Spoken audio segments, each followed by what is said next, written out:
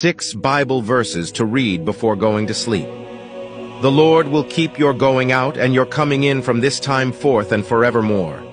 If you lie down, you will not be afraid. When you lie down, your sleep will be sweet. Do not be afraid of sudden terror or of the ruin of the wicked when it comes, for the Lord will be your confidence and will keep your foot from being caught. You keep him in perfect peace whose mind is stayed on you, because he trusts in you. Therefore do not be anxious about tomorrow, for tomorrow will be anxious for itself. Sufficient for the day is its own trouble. For I am sure that neither death nor life, nor angels, nor rulers, nor things present, nor things to come, nor powers, nor height, nor depth, nor anything else in all creation will be able to separate us from the love of God in Christ Jesus our Lord.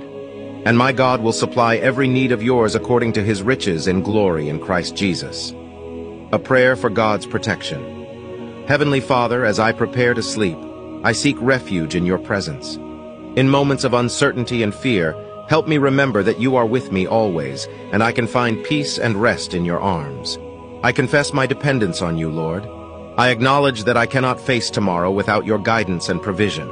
Today, I surrender myself to your protection and care, O Sovereign One. I place my trust in you, knowing that you will lead me and strengthen my faith. As I meditate on these prayers for your protection and reflect on the scriptures shared above, I find solace and encouragement. Thank you, Lord. I ask you to deepen my faith and empower me to walk in obedience to your word. In the name of Jesus, I pray. Amen.